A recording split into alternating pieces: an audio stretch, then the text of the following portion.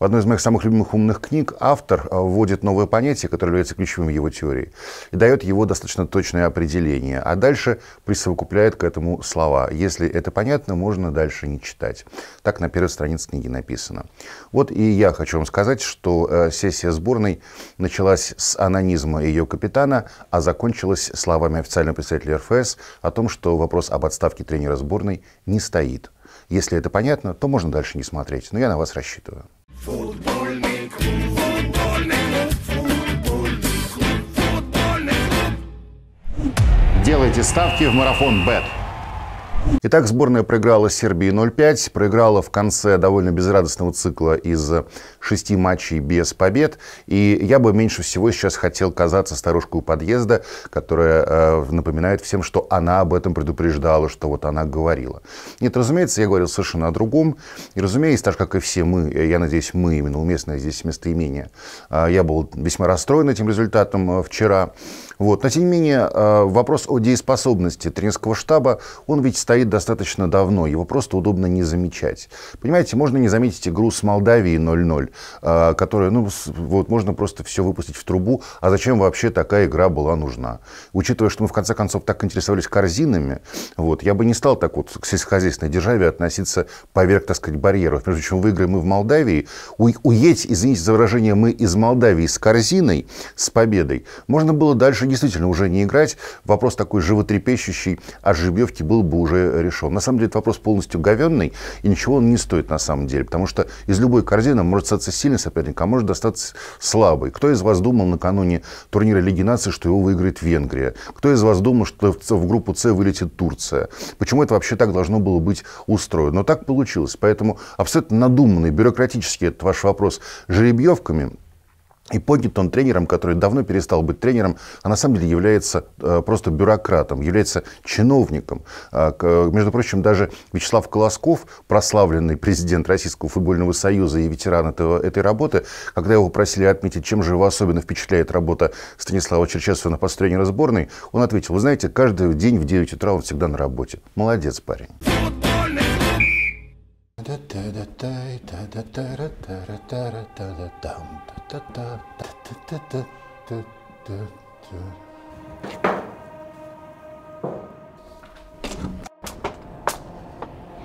Эй, парень, ты чего? Не подходи, я прыгну! Да этой козе понятно, что случилось-то? Какая разница? Тебе все равно не понять, ты же Вася Уткин, вон какой крутой! Это да, да, но ты все равно расскажи, что я хоть потом знал, что именно полиции говорить. Меня достала моя работа, я больше так не могу. А ты чем занимаешься? Анпакинг бумаги! Чего? Мне переносчик бумаги приносит пачку бумаги. Я ее вскрываю и отдаю человеку, который вставляет ее в принтер. Мать моя! И так 10 лет за копейки!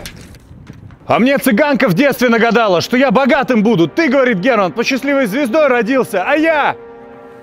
Так дело только, так дело только в работе. Господи, ну и дурачок, ее ж поменять можно. Как? Как? Да очень просто. Слушай, образовательная экосистема Geekbrains от Mail.ru Group приглашает всех на бесплатный интенсив по веб-разработке. Чего? Не перебивай!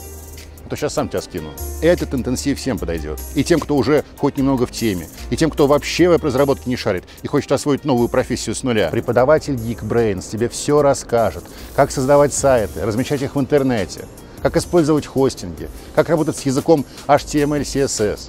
А ты откуда все это знаешь? Это сейчас не важно. Интенсив проходит онлайн, ехать тебе никуда не надо. Расскажут тебе, как стать веб-разработчиком с нуля, зарплаты от 100 косарей, как устроиться в этой сфере. Забудешь ты про свою бумагу, будешь лес беречь. Че, серьезно? Да, если понравится, запишешься в Geekbrains на курсы.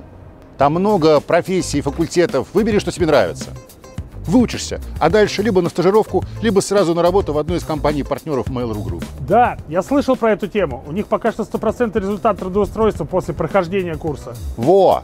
Вась, это же реально круто! Я ж теперь наконец-то человеком стану. Работа кайф, зарплата хорошая. Все как Лейла говорила, когда мою линию жизни смотрела. Ну а я что говорю? Ну, вы, кстати, тоже регистрируйтесь на бесплатный интенсив по веб-разработке Geekbrains. Узнавайте новое, получайте удовольствие от работы и не делайте глупостей.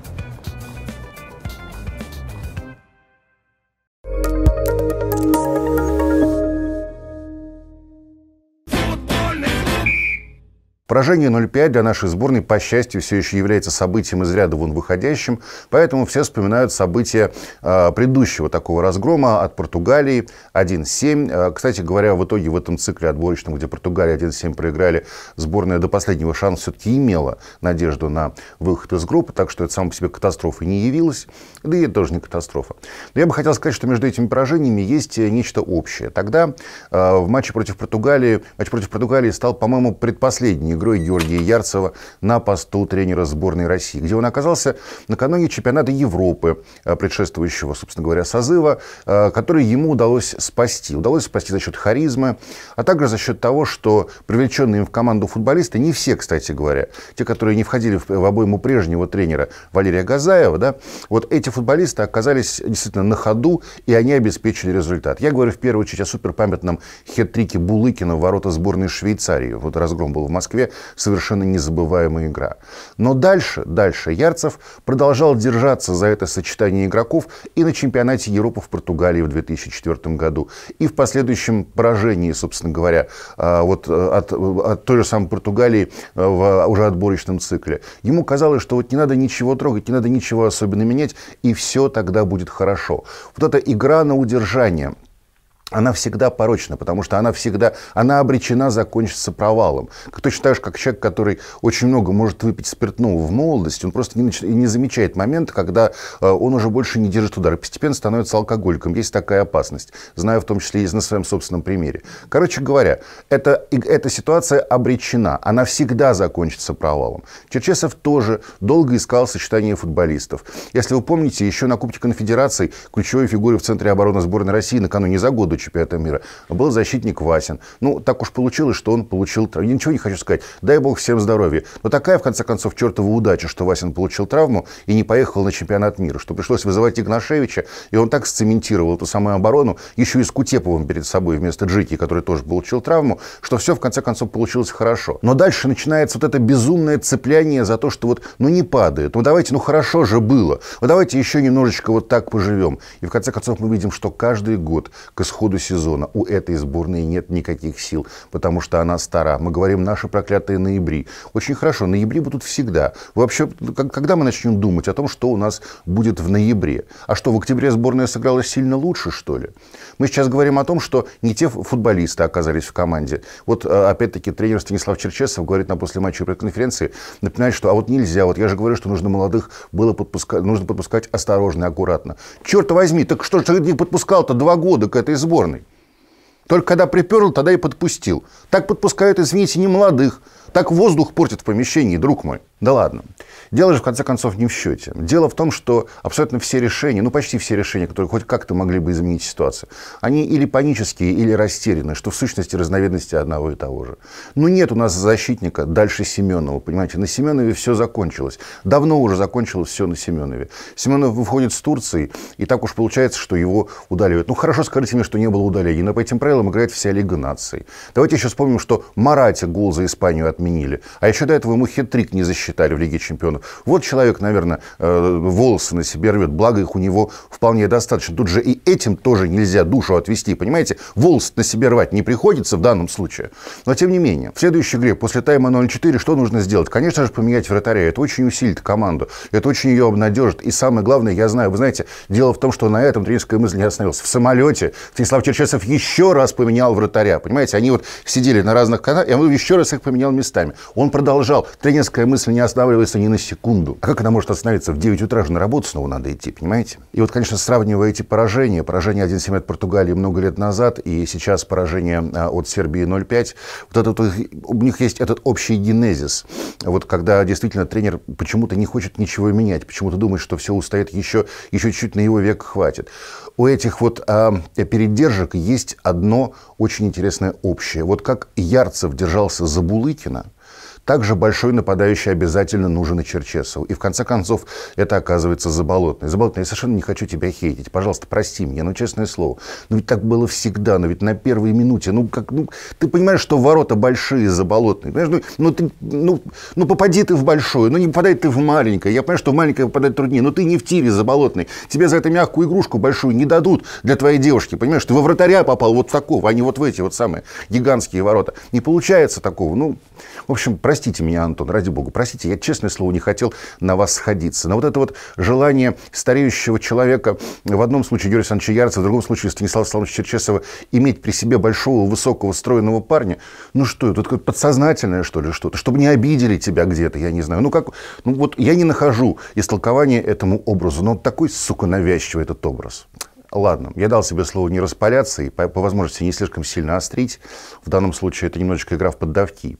Без этого, с другой стороны, не обойтись, но проиграли же. Но мне бы хотелось сконцентрироваться на более простых более важных, как мне кажется, вещах. А, я хочу еще раз подчеркнуть, я не предрекал сборной России провала. Нет, никоим образом. Я был черкес, черчесо-скептиком. Не черкесо-скептиком, а именно черчеса.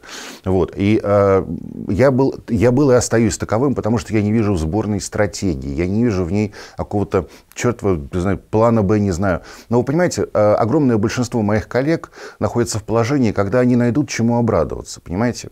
Вот в игре со сборной Турции были разные отрезки. Но давайте найдем чему обрадоваться. Ведь так, получается, что мы осуществляем выбор между тем, что мы считаем существенным. Да? Вот мы считаем существенным то, что сборная по второй план первого тайма провалила, или мы считаем существенным то, что она э, на воротах сидела в десятером у сборной Турции последние минуты матча. А это на самом деле две стороны одной медали. Зачем нужно выбирать какой-то один участок игры для того, чтобы сказать, ну вот видите, Надежда все-таки жива. Вот видите, Кузяев все-таки в конце концов ярко сыграл э, в атаке. То, что у этого Кузяева, начиная с лета, 5 лишних килограммов, как минимум, просто висит на животе, этого как-то не принято замечать, поэтому нет никакой стабильности. Да? Вот.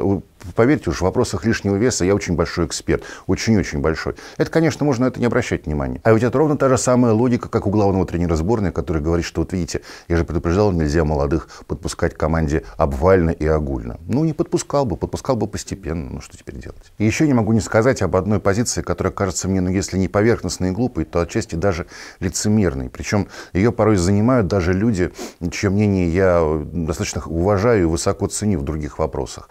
Но вот как можно говорить, что не, не стреляйте в Черчесова, он работает с теми футболистами, которые у него есть. Ну да, было бы странно, если бы он работал с теми футболистами, которых у него нет.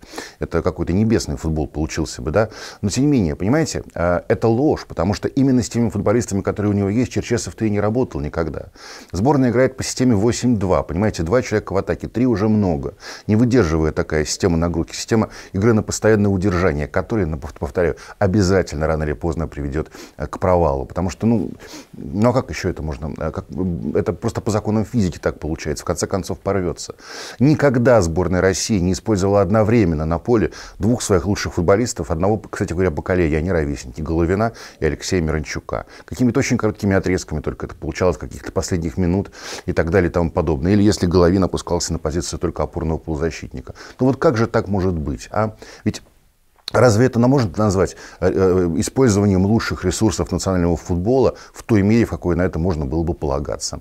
Я сказал об этом по, по поводу предыдущей сессии сбора, тут же получил ответ от тренера. Но ведь Головин травмирован. Боже мой, ну что же он у тебя, три года, что ли, травмирован, Станислав Саламович? Ну, сколько, он, сколько он был здоров, не играл вместе с ним Миранчук. А теперь вот э, Головин травмирован, есть как бы вот такая тоже отмазка. Речь же идет о том, как устроится игра сборной, в чем ее приоритеты. А сейчас, понимаете, сейчас Миранчук уехал в Италию. Боже мой, подрастает еще Лесовой. До этого тренера паника начинается в его умной голове. Как же теперь дальше быть? Как же теперь обходиться без футболистов, которые умеют играть в атаку? Черчесов столько поработал в разных местах. Порой провально, порой как-то не очень-то и как. А порой вообще невидимо, как, допустим, в сочинской «Жемчужине» он работал. Но неужели же вы не видите, что из всех его работ из сборной он почему-то решил построить пермский «Амкар»? В общем, на самом деле рухнула не сборная. Сборная выйдет на следующий матч, и у нее обязательно что-нибудь получится. Хотя бы потому, что... Нет, не потому, что вернется Дзюба, хотя, может быть, и поэтому тоже. У сборной получится просто потому, что ей тоже нужно исправляться как-то, правда же? Все будут помнить вот этот вот самый неприятный матч и захотят перевернуть эту страницу. Так что обрушилась не сборная, обрушились ваши представления о ней. Ваши, говорю я, а не наши. Ваши, вашего большинства, вот большинства вас. Потому что вы думали, что это какое-то прочное и серьезное здание. А это была времянка, которую удалось построить на участке. И вот более или менее, вот к, моменту, когда она требовалась, она простояла. Но дальше нужно было строить уже совсем другой основательный, серьезный дом. А этого не произошло. Но что поделать, так бывает. И бывает так именно в тех случаях, когда на том месте, где должен находиться человек, способный принимать решения, способный рисковать, творческий, короче говоря, человек, на этом месте оказывается чиновник. Чем отличается российский тренер от тренера иностранного. Посмотрите на Сандру Шмидт. Он приехал в «Динамо», и он начал демонстрировать то, как он понимает, за что его пригласили. Он начинает демонстрировать свои профессиональные качества, свое понимание и видение игры, свою оценку молодых игроков, которые у «Динамо» в некотором избытке, как кажется, сейчас существуют. Почему я говорю «как кажется»? Потому что это доказывается только временем. В конце концов, все равно. И что мы видим, когда российский тренер приходит э, в команду в большинстве случаев? Да как бы чего не вышло. Как бы не потерять эту работу, понимаете? Как бы сделать так, чтобы вот еще восьмого защитника куда-нибудь прицепить. Вот так вот все это в конце концов и получается. Логика чиновника вместо логики нормального, серьезного специалиста. А почему так? Ну уж извините, у нас так устроено в стране уже достаточно давно. Почему так по-другому должно быть устроено в футболе-то? Нет, серьезно, я уверен. Придет весна, следующий матч сборной России обязательно выиграет. Прямо сейчас хоть делай ставку в марафон Бет. Именно здесь лучше всего делать ставки. Я вам все время это говорю, если уж их делать. И мы снова скажем, смотрите, как... а вот, а вот опять все получилось, смотрите. А вот и тот вернулся, и этот на своем месте. Да и Гилерми, черт с ним, тоже отличный вратарь на самом деле. Это точно совершенно произойдет. Мы найдем чему порадоваться. Мы же нормальные взрослые советские люди, правда же? А если мы не советские люди, то мы те, кто воспитаны советскими людьми. Напоследок, подытоживая тему сборной, скажу вам очень важную вещь. Если вы думаете, что я вот сейчас здесь выступаю за отставку тренера Станислава Черчесова, то вы заблуждаетесь. Я не выступаю за его отставку. Я всего лишь хочу, чтобы у сборной России играли сильнейшие футболисты. Я хочу, чтобы она играла смело и атакующе, и для этого у нее есть соответствующий ресурс. И еще я хочу, чтобы вернули в обращение 25 слов русского языка, которые почему-то учить русского языка в школе, где учился Исаслав Черчесов, почему-то он их ему не преподал. Я хочу, чтобы мы могли разговаривать о сборной, о сборной легко и свободно, в конце концов. Ну вот хотя бы какая ее капитания. Ведь там-то, в конце концов, словарного запаса никто не ограничивает. И за последние две недели, ну прямо такие сочные перлы порой получались у некоторых людей. Ноябрьские матчи сборной, по большому счету, расставили важнейшие акценты в этом э, сезоне нашего футбола. Он получился депрессивным. Он вряд ли нас порадует и в конце.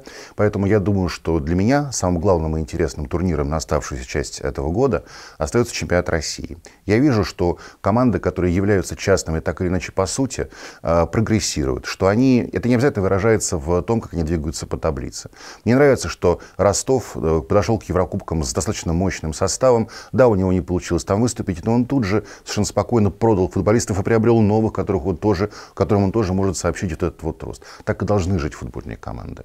Мне нравится, как прогрессирует Рубин, который тоже является частным клубом. И хотя у Рубина получается далеко не все, но и не должно получаться сразу все, мы совершенно четко видим, что там была выбрана определенная стратегия, и эта стратегия приносит свои результаты. Главное не ставить сейчас конечные цели, потому что никто не знает, насколько хватит ресурсов. Возможно, те футболисты, которые являются важнейшими для игры Рубина, может быть, тоже их судьба судьба в том, чтобы быть проданными, но эти деньги тоже пойдут в дело. Мне нравится, что в чемпионате России снова появились европейские тренеры. Это означает, что люди понимают, для того, чтобы работать с худшим, чем раньше материалом, я имею в виду человеческим материалом футболистами, нужно приглашать более квалифицированных специалистов, которые больше знают, которые, возможно, видят в этом способ самоутверждения, а не, повторяю, возможность просидеть некоторое время э, на каком-то вот гнезде и снести себе, и, птенцов забрать себе. Хотя, конечно, по большому счету, иностранный тренер это даже не понятие. Но совершенно очевидно, что Марко Николич и Доминик Доминика Тедеско люди совершенно разного генезиса, возможных способностей, совершенно точно методов управления. Вот на самом деле все не настолько грустно, потому что все это и нужно сделать, что начать доверять молодым. Доверять не в смысле давать им огромные деньги, это их, скорее всего, портит, а доверять в нормальном профессиональном смысле этого слова. По этому поводу я хочу напоследок рассказать вам один из своих любимых анекдотов о соотношении молодости и опыта. Это такой советский анекдот, э, в общем, в нем такие советские ценности, но потому что главным героем является слесарь. А слесарь с хорошими руками, вы прекрасно понимаете, что это, что это было для страны, где все время что-то все время ломалось. Короче говоря, идет слес, слесарь ученик, идут э, чинить прорыв канализации. Они подходят к месту, открывают люк, и выясняется, что там, э, кстати, это было одно из любимых выражений э, Георгия Асановича Ярцева, на два вами уже люк с говном захлопнулся, когда было совсем плохо, он так говорил своей команде. Хорошее выражение. Так вот, они открывают люк и видят, что там полно. Ну и старый мастер, соответственно, что поделать, э, лезет чинить, э, там ныряет, выныривает, говорит, подай ключ на 12, то-то еще пятое, десятое. И в конце концов он снова выныривает, и ученик, э, подавая ему инструмент, его роняет. Роняет прямо туда внутрь. Набрав воздуха, старый мастер погружается вниз, достает необходимый э, инструмент выныривает и говорит, руки у тебя из жопы растут. Так никогда и не научишься настоящему делу. Так и будешь инструменты подавать, не станешь настоящим мастером. Пока. Вся наша жизнь игра. Я знаю, что он Шварц, а не Шмидт. Ну, что поделать, в конце концов. Я, я просто пытался не, не назвать его опять Сашей Черным, потому что эта шутка уже приелась. Ну, короче, не приставай ко мне. Вся наша жизнь игра, понимаешь, во что ты играешь. Здесь этот мир как большой.